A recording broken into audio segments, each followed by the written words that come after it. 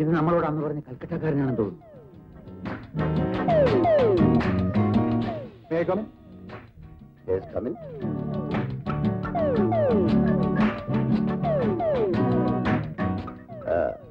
നമ്മൾ തമ്മിൽ ഒരിക്കലേ കണ്ടിട്ടുള്ളൂവെങ്കിലും എന്നെ ഓർമ്മ കാണുമെന്ന് വിചാരിക്കുന്നു. ഞാൻ കൽക്കട്ട എന്ന് വരികയാണ്. എന്റെ പേര് Nagendran. Oh I'm sorry take a seat എനിക്ക് പെട്ടെന്ന് ആളെ പിടികിട്ടിയില്ല. കുടിക്കാൻ എന്തെങ്കിലും? വേണ്ട ഒന്നും വേണ്ട. നോ താങ്ക്സ് മിസ്റ്റർ നാഗേന്ദ്രന്റെ ഫോൺ വരാത്തതുകൊണ്ട് ഞാൻ വിഷമിച്ചിരിക്കുമ്പോഴാണ് നിങ്ങളുടെ കയ്യിൽ പെട്ടി ഏൽപ്പിച്ചവർ മടങ്ങി വന്നു പെട്ടി കൊണ്ട് ഏൽപ്പിച്ചെന്നു അതെ ഇത്തരം സാധനങ്ങൾ ബുക്ക് ചെയ്ത് അയക്കുന്നത് അപകടമായതുകൊണ്ടാണ് നേരിട്ട് ബാലന്റെയും ഖാദറിന്റെയും കയ്യിൽ കൊടുത്തു വിട്ടത്. അവരിവിടെ പാർസൽ ഓഫീസിൽ ജോലി ചെയ്യുന്നവരാ. മിസ്റ്റർ ചന്ദ്രസേൻ ഞാനും നിങ്ങൾ ചെയ്യുന്ന ബിസിനസിന്റെ യഥാർത്ഥ പേര് രാജ്യദ്രോഹമെന്നാണ്. അതിൽ നിങ്ങൾ എന്നെ കബളിപ്പിക്കുന്നത് സർപ്പത്തിന്റെ വായിലകപ്പെട്ട പ്രാണികൾ തമ്മിൽ മത്സരിക്കുന്നത് പോലെയാണെന്ന് ഓർമ്മ വേണം. മിസ്റ്റർ നാഗേന്ദ്രൻ എന്താ ഇങ്ങനെ സംസാരിക്കുന്നത്? ലക്ഷക്കണക്കിന് രൂപ കൈനീട്ടി വാങ്ങിയ നിങ്ങൾ ഓർണമെന്റ് കൽക്കട്ടയിൽ എത്തിക്കാത്തതുകൊണ്ട്. എത്തിച്ചു. എന്റെ കൈ കൊണ്ടാണ് ആ പെട്ടി സീൽ ചെയ്ത് അവരെ ഏൽപ്പിച്ചത്. രാഘവ എന്താണ് ഈ കേൾക്കുന്നത്? സാർ ആ പെട്ടി ഉൾപ്പെടെ അവർ റെയിൽവേ സ്റ്റേഷനിൽ കൊണ്ടുവിട്ട് ഞാനാ. അവരെന്നെ കണ്ടിട്ട് ഇപ്പൊ പോയതേ ഉള്ളൂ. ആ ബാലും ഖാദറും കൂടെ നമ്മൾ ചതിച്ചിരിക്കുന്നു എന്ന് എന്റെ സംശയം. അങ്ങനെയാണെങ്കിൽ അവരിപ്പോ ഇവിടെ വരുമോ? ആരാരെ ചതിച്ചാലും എനിക്ക് ഓർണമെന്റ്സ് കിട്ടാതെ മടങ്ങാൻ കഴിയില്ല. മിസ്റ്റർ നാഗേന്ദ്രന്റെ വിശ്വാസമില്ലേ? വിശ്വാസം എന്ന് പറയുന്നത് ഒരു തലനാരിയാണ് മിസ്റ്റർ. പക്ഷെ നമ്മുടെ ബിസിനസ്സിൽ അത് ഡ്രോപ്പയാണെന്ന് നിങ്ങൾക്കറിയില്ലേ? ട്രെയിനിൽ ഉയരാത്ത ഭാരങ്ങൾ കടലിനക്കരൽ നിന്ന് പോലും ഇവിടെ എത്തുന്നത് ആ തലനാരിയിലൂടെയാണ് അത് പൊട്ടുന്നത് കപടത കൊണ്ടായാലും കഴിവുകൾ കൊണ്ടായാലും ഒറ്റ അർത്ഥമേ ഉള്ളൂ. ഞാൻ ഞാൻ പറയുന്നൊന്ന് കേൾക്കൂ.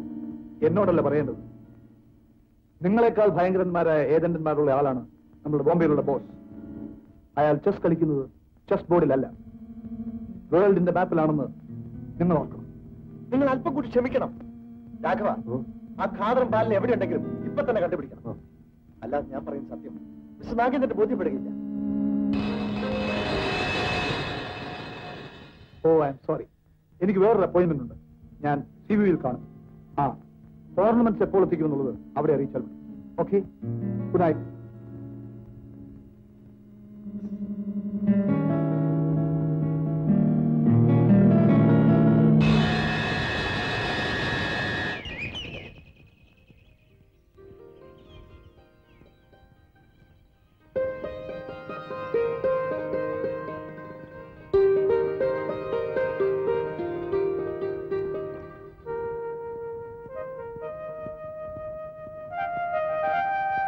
ഖാദറെ നമ്മളിവിടെ ഉള്ള വിവരം ചന്ദ്രസേനന്റെ ആൾക്കാരറിഞ്ഞാൽ വീണ്ടും നമ്മൾ പോലീസിന്റെ കയ്യിലാപ്പെടും ഇനി എങ്ങോട്ട് പോകാൻ?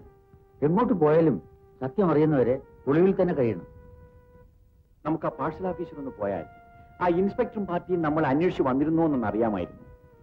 അതിനു മുമ്പ് നമുക്ക് വേണ്ടത് രഹസ്യമായി താമസിക്കാൻ ഇടവാണ്. എങ്കിലേ ചന്ദ്രസേനന്റെ വീട്ടിൽ നടക്കുന്ന ഓരോ ചലനവും ദൈവം പോലും അറിയാൻ നമുക്ക് മനസ്സിലാക്കാൻ കഴിയും. ഇൻസ്പെക്ടർ മറുനാടൻ മലയാളികളായ ഞങ്ങൾ കേരള പോലീസിനെ കുറിച്ച് വളരെ അഭിമാനത്തോടെയാണ് എവിടെയും സംസാരിക്കാറുള്ളത്. പക്ഷേ ജീവിച്ചിരിക്കുന്ന എന്റെ ശവം നിങ്ങൾ കണ്ടെടുത്തുന്നു അതിന്റെ പേരിൽ നിങ്ങൾ കേസെടുത്ത് അന്വേഷണം നടത്തുന്നു എന്ന് പറയുന്നത് വളരെ ലജ്ജാകരമായി. ക്ഷമിക്കണം മിസ്റ്റർ ചന്ദ്രസേന ഞങ്ങൾ ശവശരീരം കണ്ടെടുത്തതും ബാലിനെയും കാവറയും അറസ്റ്റ് ചെയ്തതും സത്യമാണ്. നിങ്ങൾ സ്വർണം കൊടുത്തേച്ചെന്ന് പറഞ്ഞതും അവരാണ്. എനിക്ക് സ്വർണ കച്ചവടമാണോ സർ ജോലി. ഈ പറഞ്ഞവന്മാരെ ഞാൻ കണ്ടിട്ട് പോലുമില്ല ഒരുപക്ഷെ മാന്യതയോടെ കഴിയുന്ന എന്റെ അഡ്രസ് പറഞ്ഞ് രക്ഷപ്പെടാൻ വേണ്ടിയായിരിക്കും അവർ നിങ്ങളോട് അങ്ങനെ പറഞ്ഞു മലയാളി അവന്മാരെ എനിക്കറിയാം. നിനക്കെങ്ങനെ അറിയാം? രണ്ടുപേരും ആ പാർസൽ ഓഫീസിലെ ടെമ്പററി ജോലിക്കാരാ. റെയിൽവേ സ്റ്റേഷനിൽ വെച്ച് പലപ്പോഴും ഞാൻ അവരെ കണ്ടിട്ടുണ്ട്. ഓ അതുകൊണ്ടായിരിക്കും അവരെ അന്വേഷിച്ച് ഇൻസ്പെക്ടർ സാർ മദ്രാസിലേക്ക് വന്നു പക്ഷേ തടവ് ചാടാൻ ധൈര്യം കാണിച്ചവർ തിരിച്ചിവിടേക്ക് വരുമെന്ന് എനിക്ക് തോന്നുന്നില്ല. എവിടെ വെച്ചായാലും കുറ്റം ചെയ്തവൻ അകപ്പെടുക തന്നെ ചെയ്യും. തീർച്ചയായും. ഇങ്ങനെയുള്ള എരപ്പാളികളെ വെച്ച് പൊറുപ്പിക്കരുതെന്നാണ് ഞാൻ പറയുന്നത്. വേണമെങ്കിൽ എന്നെ അപകീർത്തിപ്പെടുത്തിയതിന് ഞാൻ ഒരു പെറ്റീഷൻ എഴുതി തരാം ഓ അതൊന്നും വേണമെന്നില്ല. ഞാൻ ഇറങ്ങുകയാണ്. ആ വന്നിട്ടൊരു കപ്പ് കാപ്പി പോലും കഴിച്ചില്ലല്ലോ. സാരമില്ല. ഇനിയും ഇങ്ങോട്ട് വരേണ്ടി വരുമല്ലോ? എപ്പോഴാണ് ആ മെഡ്രാസിൽ എത്ര ദിവസത്തെയാ ക്യാമ്പ് പ്രതികളെ പിടിച്ചേൽപ്പിക്കുന്നത് വരെ.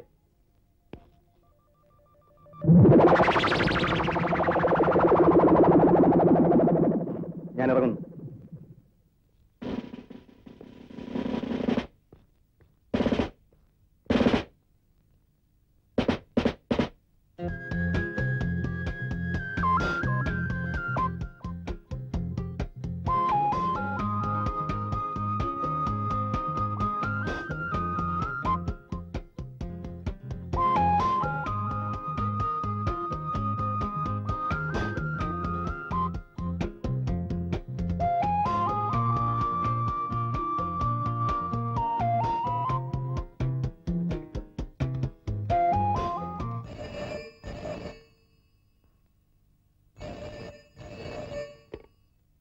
ഹലോ? ആരാണ്? ഹലോ മിസ്റ്റർ ചന്ദ്രസേൻ അല്ലേ അതെ. ഞാൻ ഡെയ്സിയാണ്.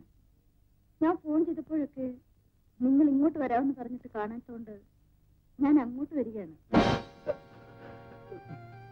വേണ്ട ഡേസി ഇങ്ങോട്ട് വരണ്ട. ഞാൻ സമയം പോലെ ഡേസി വന്ന് കണ്ടുകൊള്ളാം നിങ്ങളുടെ സമയം കാത്തിരിക്കേണ്ട ഗതികേട് എനിക്കില്ല.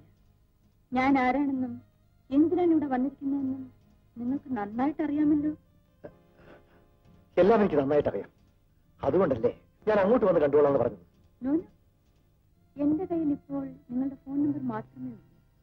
എനിക്ക് നിങ്ങളുടെ വീടൊക്കെ ഒന്ന് കാണണം. ഞാൻ അവിടെ വരുമ്പോൾ നിങ്ങൾ അവിടെ ഉണ്ടായിരുന്നാൽ നിങ്ങൾക്ക് തന്നെയാണ് നല്ലത്. Okay? Hello? Hello?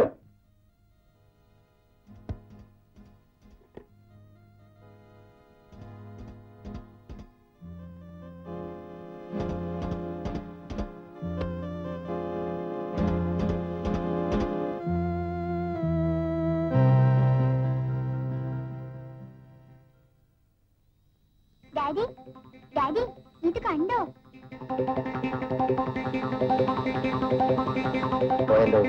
ഞാൻ പോവില്ല.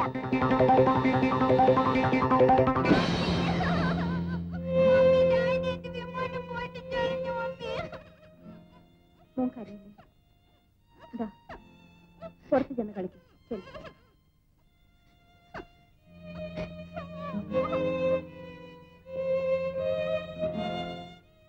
ആരോടുള്ള ദേഷ്യമാണ് കുട്ടിയോട് തീർക്കുന്നത്. ഞാൻ ഗുരുവായൂർ പോയപ്പോ കണ്ടിട്ട് പോയ ആളല്ല. തിരിച്ചു വന്നപ്പോ മുതൽ കാണുന്നത്. നിങ്ങൾക്ക് ഇതെന്ത് പറ്റി? എനിക്കൊന്നും പറ്റിയില്ല. ദയവ് ചെയ്ത് നീ എന്നെ ശല്യം ചെയ്യാതിരിക്കും. ശല്യം ചെയ്യാനല്ല ഞാൻ ഇങ്ങോട്ട് വന്നത്. എനിക്ക് ചില സത്യങ്ങളറിയാം നീ ഒന്നും അറിയണ്ട. എനിക്കറിയണം. ഞാൻ നിങ്ങളുടെ ഭാര്യയാണ്. ലോകത്തിൽ ആരുടെ മുമ്പിലും തലകുനിക്കാത്ത നിങ്ങൾ ആ കൽക്കത്താകാരന്റെ മുമ്പിൽ മുട്ടുകുത്തി പ്രാർത്ഥിക്കുന്നതും പോലീസിനെ ഭയപ്പെടുന്നതും ഞാൻ കണ്ടു. സരസ്വതി. നിങ്ങളുടെ ഗതികേട് കണ്ട് തൊലി പൊള്ളി പോയത് കൊണ്ടാണ് ഞാൻ ചോദിക്കുന്നത്. എന്താണ് സംഭവിച്ചെന്ന് തുറന്നു പറയും. ആണുങ്ങൾ സംസാരിക്കുന്നിടത്ത് ഞാൻ വരുന്നത് ശരിയല്ല.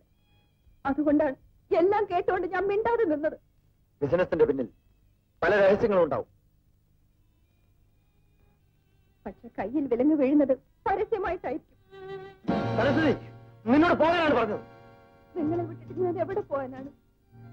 നിങ്ങളുടെ രക്തത്തിൽ ജനിച്ച കുഞ്ഞിന് ഇന്ന് അഞ്ചു വയസ്സായുള്ളൂ അവനൊരു ആൺകുട്ടിയല്ലേ അവൻ വളരുമ്പോ അവന്റെ അച്ഛനെ കാണാൻ സെൻട്രൽ ജയിലിലേക്ക് പറഞ്ഞേക്കാൻ എനിക്ക് കഴിയില്ല. നീ അതിന് കിടക്കരുത്. അതിനും കടന്ന് അഭിമാനവും കളഞ്ഞ് ജീവിക്കുന്നത് നിങ്ങളാണ്. നിങ്ങൾ എനിക്ക് വേണ്ടി എന്റെ കുഞ്ഞിന് വേണ്ടി ഒന്നും ചെയ്യണ്ട. സ്വസ്ഥതയോട് ജീവിക്കാനുള്ള വക ഈ കുടുംബത്തിനുണ്ട്. ദയവ് ചെയ്ത് നിങ്ങൾ ഇന്നത്തെ ഈ വഴിയിൽ നിന്ന് പിന്തിരിഞ്ഞേ പറ്റൂ.